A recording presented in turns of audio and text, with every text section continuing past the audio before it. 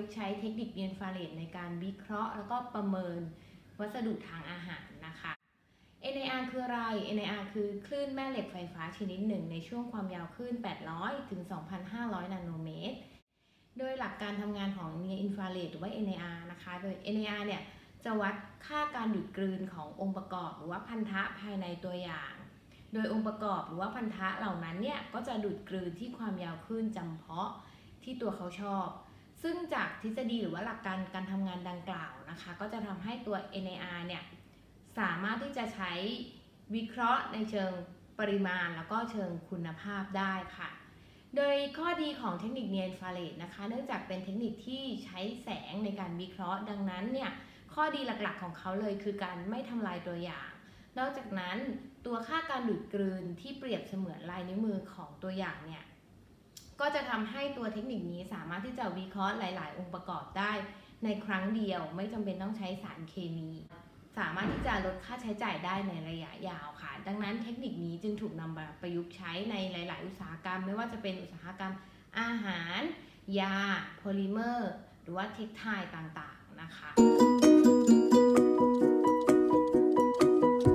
ซึ่งสำหรับวัตถุประสงค์ของ ทำปฏิบัติการในครั้งนี้นะคะ ก็เพื่อให้นิสิตเนี่ยได้เรียนรู้ถึงการประยุกต์ใช้หลักเนียนฟาเรดนะคะ ในการวิเคราะห์ แล้วก็ประเมินวัสดุอาหารค่ะ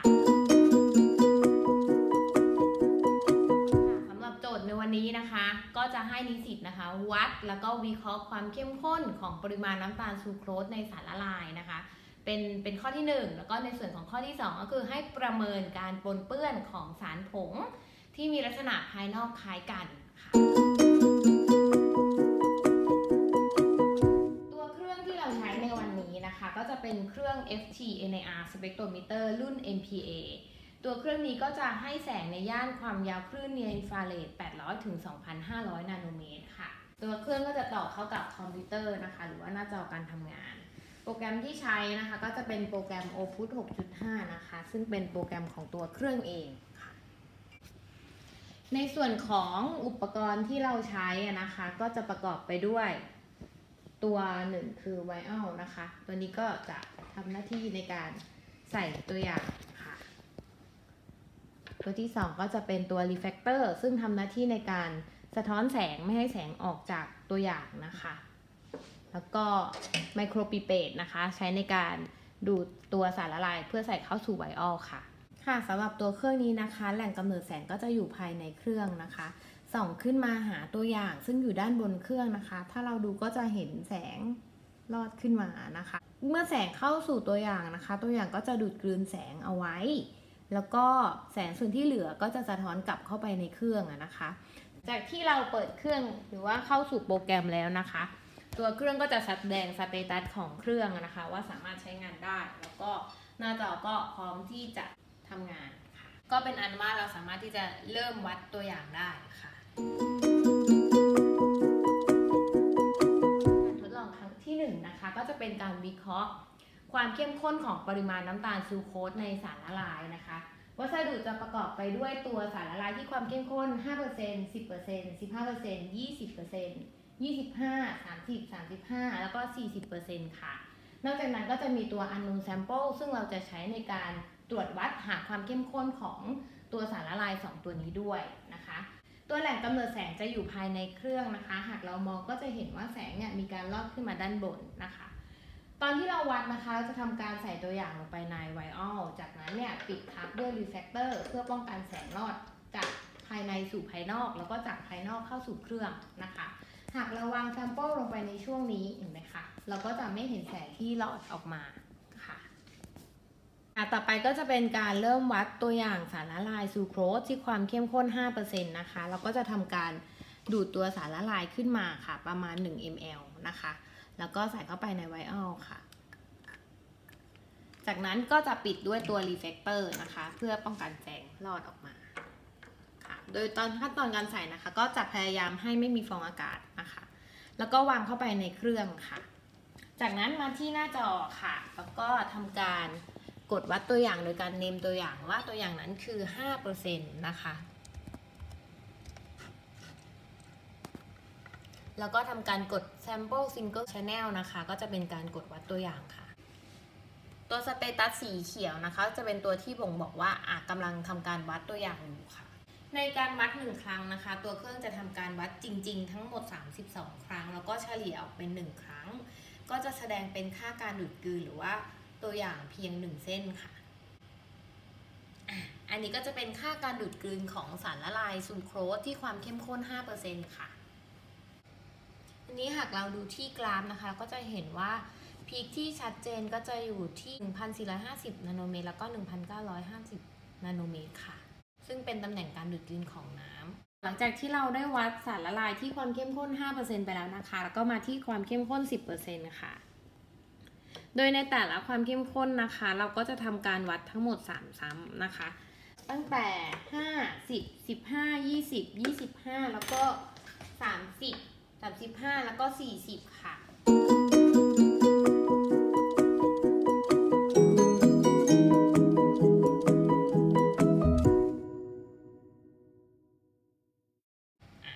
อันนี้ก็จะเป็นความเข้มข้น 10%นะคะ ก็จะมีลักษณะเป็นเส้นสีแดงค่ะ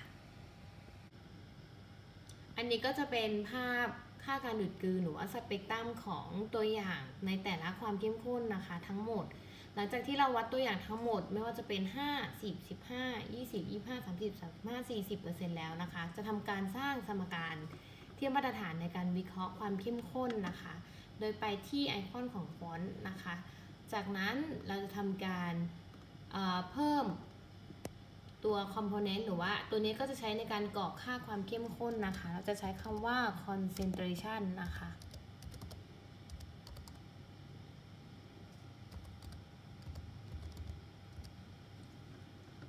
อันนี้ก็จะเป็นหน่วยเปอร์เซ็นต์นะคะแล้วก็ทำการเรียกตัวสเปกตรัมที่เราทำการวัดเอาไว้นะคะ ขึ้นมา ทั้งหมด เราก็จะต้องทำการกรอกค่าความเข้มข้นนะคะ ให้สอดคล้องกับตัวความเข้มข้นจริงของตัวอย่างนะคะ ก็จะเห็นว่าใน 1 เส้นสเปกตรัมก็จะมี 1 ความเข้มข้นที่เราวัดไว้นะคะ จนครบทั้งหมดจนถึง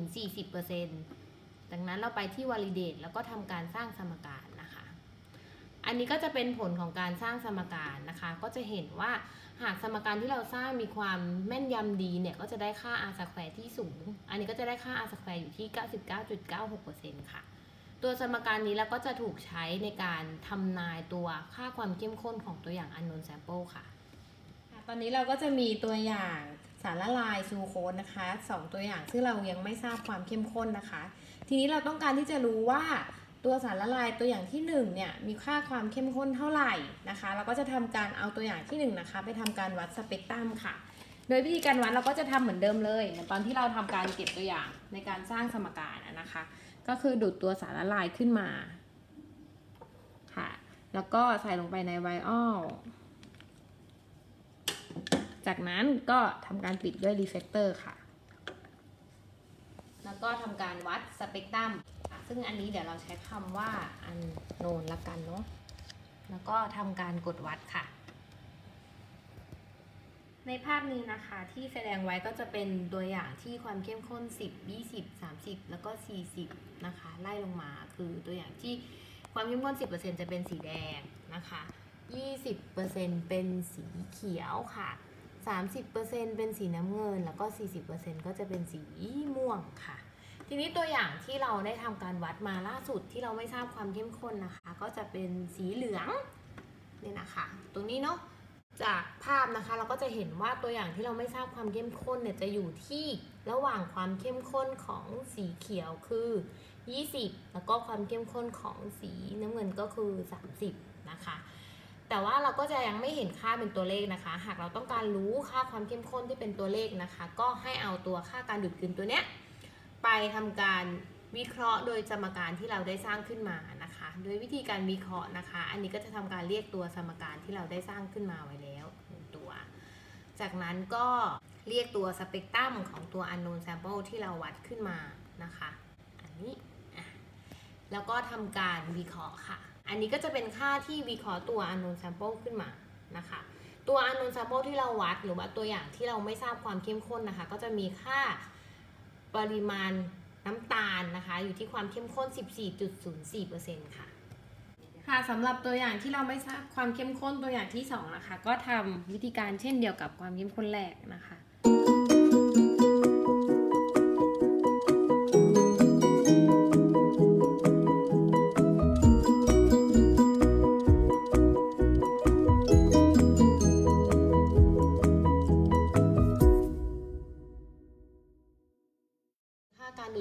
ตัวอย่างที่เราทำการวัดนะคะ เป็นสีเขียวนิ้นเป็นของตัวอย่างที่ไม่ทราบความเข้มข้นตัวอย่างที่ 2 ทีนี้ถ้าเราต้องการทราบความเข้มข้นในเชิงตัวเลขนะคะ ก็ทำเหมือนเดิมเลยค่ะ คือเรียกสมการที่เราสร้างขึ้นมา จากนั้นเรียกตัวสเปกตรัมของอันนูน2ขึ้นมาค่ะ แล้วก็ทำการวิเคราะห์นะคะ ก็จะอยู่ที่ 29.716 นะคะ ซึ่งใกล้เคียงกับตัวอย่างที่เราได้เตรียมไว้อยู่ที่ 30%ค่ะ ก็จะเห็นว่าสมการที่สร้างขึ้นมีความ แม่นยำที่ดีค่ะ จากการทดลองที่1นงนะคะ เราก็จะเห็นว่าเมื่อเราทำการสร้างสมการเทียบมาตรฐานในการวิเคราะห์ ความเข้มข้นของสารละลายซูโคสเรียบร้อยแล้ว เมื่อเรามีตัวอย่างที่เราไม่ทราบความเข้มข้นมาวิเคราะห์นะคะ เราก็จะได้ค่าความเข้มข้นโดยที่สามารถวิเคราะห์ได้อย่างรวดเร็ว แม่นยำแล้วก็ไม่ทำลายตัวอย่างว่า เราไม่จำเป็นต้องนำไปวิเคราะห์ ด้วยวิธีมาตรฐานที่เกิดความยุ่งยากค่ะ อันนี้ก็จะเป็นการประยุกต์ใช้เทคนิค near infrared ในการวิเคราะห์หาความเข้มข้น ซึ่งเป็นการวิเคราะห์ในเชิงปริมาณค่ะในส่วนของการทดลองที่2นะคะก็จะเป็นการประยุกต์ใช้เทคนิค near infrared ในการวิเคราะห์เชิงคุณภาพ ซึ่งในการทดลองนี้นะคะ ก็จะมีวัสดุที่ใช้นะคะ ก็จะเป็นตัวสารที่มีลักษณะเป็นผงสีขาวนะคะ โดยจะประกอบไปด้วย 1 คือ icing ผงชูรสแล้วก็ตัวนี้จะเป็นโพแทสเซียมไฮโดรเจนพทาเลตนะคะ หรือว่า KHP ซึ่งเป็นสารเคมีตัวหนึ่งนะคะ แล้วก็ตัวสุดท้ายก็จะเป็นแป้งมันสำปะหลังค่ะ โดยในการทดลองนะคะ เราก็จะทำการวัดสเปกตรัมของ สารทั้ง 4 ตัวนี้นะคะ โดยเราจะใส่ใน vial เช่นกันนะคะ ซึ่งเนื่องจากว่าตัวอย่างเป็นลักษณะผงหรือเป็นเกล็ดสีขาว ดังนั้นเราจะไม่ต้องปิดด้วย reflector แล้วนะคะ ในส่วนของการทดลองนะคะ เราก็จะทำการตักตัวสารนะคะ เช่น icing นะคะ ใส่ลงไปใน vial นะคะ ก็ให้ความสูงประมาณ1เซนนะคะ เพื่อป้องกันแสงลอดออกมา โอเค ประมาณนี้ นะคะ แล้วเราก็วางลงไปที่เครื่อง แล้วทำการกดวัดสเปกตรัมเหมือนเดิมสมมติเราเป็นไอซิ่งค่ะ แล้วก็ทำการกดวัดเหมือนเดิมครับ อันนี้นะคะก็จะได้หน้าตาสเปกตรัมของไอซิ่งนะคะดังภาพนี้นะคะค่ะ ต่อไปก็จะเป็นตัวอย่างของผงชูรสนะคะ ก็จะทำการตักใส่ไวออลแล้วก็ทำการวัดเหมือนเดิม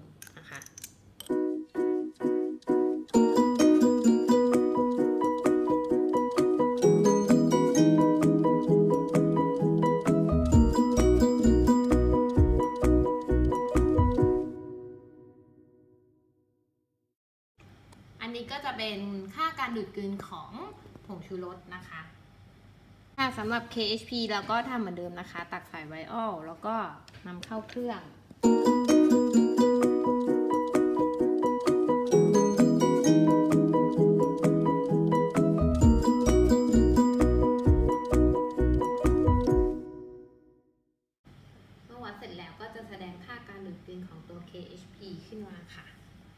ายนะคะก็คือสตาร์ชค่ะ หรือว่าแป้งมันสำปะหลังนะคะเดี๋ยวจะทำการวัด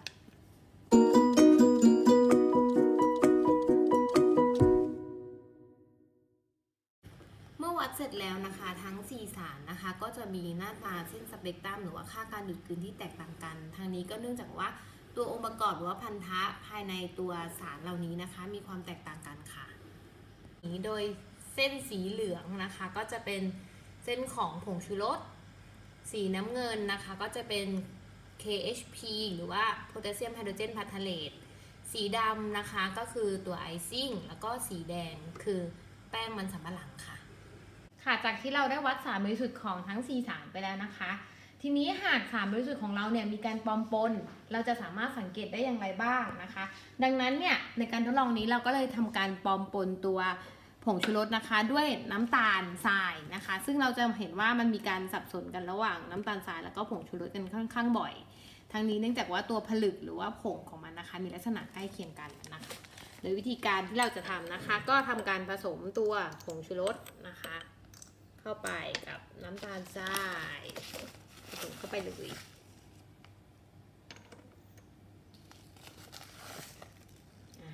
ทีนี้เราก็ทำการ มิกซ์มันก่อนนะคะ ที่ทำการวัดอะเมื่อเราทำการมิกซ์เรียบร้อยแล้ว ก็ทำการวัดสเปกตรัมเหมือนเดิมนะคะ อันนี้เราจะใช้คำว่า adulterate นะคะ ซึ่งหมายถึงการปลอมปน แล้วก็ทำการวัดสเปกตรัม